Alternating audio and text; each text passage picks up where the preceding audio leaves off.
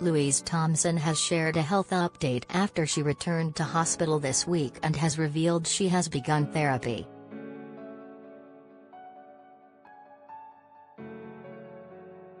The former Made in Chelsea star took to her Instagram story to share her latest news with fans after she was admitted to hospital on Thursday night after receiving alarming blood results.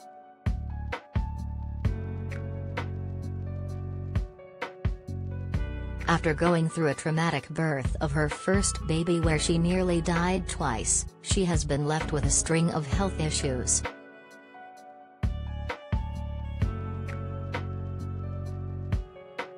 Following her latest stint in hospital, Louise posted a photo of her dog and thanked her fans for their support while she goes through the difficult time.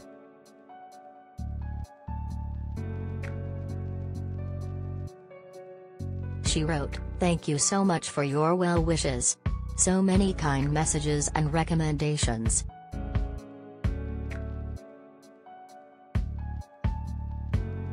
I saw a very reassuring doctor last night and am going to start Biologics V soon.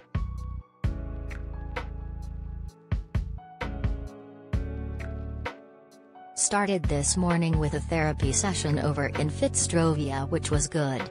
Hopefully I'm finally ready to do some good old-fashioned talking therapy.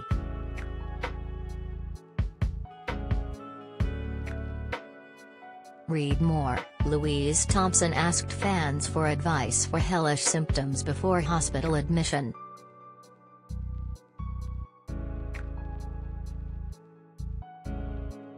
Over the last few days Louise has shared with her followers that she hasn't been feeling herself and has been asking for advice.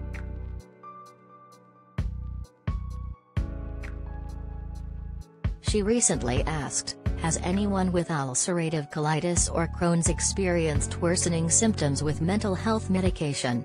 What worked for you? I never had to medicate at all before all of this hell.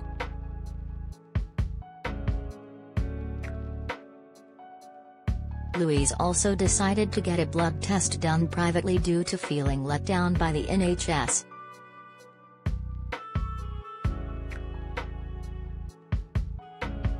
Sharing her results, she said, Anyway, I just got some recent blood test results back that I had to pay for privately and my iron and hemoglobin levels are low which is incredibly triggering.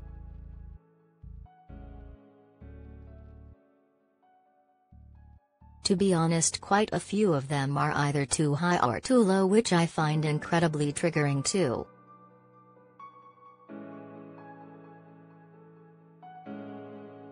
Before giving birth Louise said she was extremely healthy but now she can find it difficult to even get up the stairs.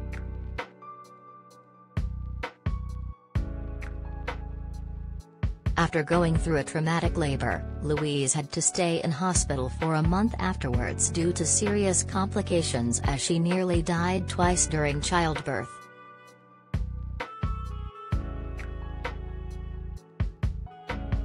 Louise's partner Ryan Libbey has also recently opened up about how the situation tends to affect their family as well.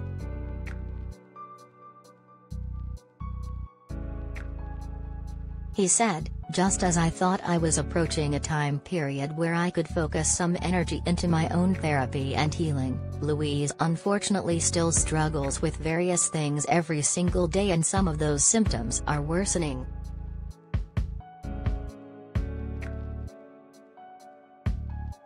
We're now back at the hospital, this time private as we've been so let down by the NHS, because Louise has received some alarming blood test results.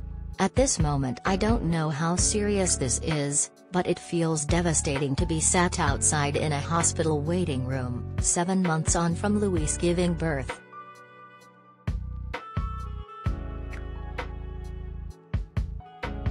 He added, I'm holding on by a thread.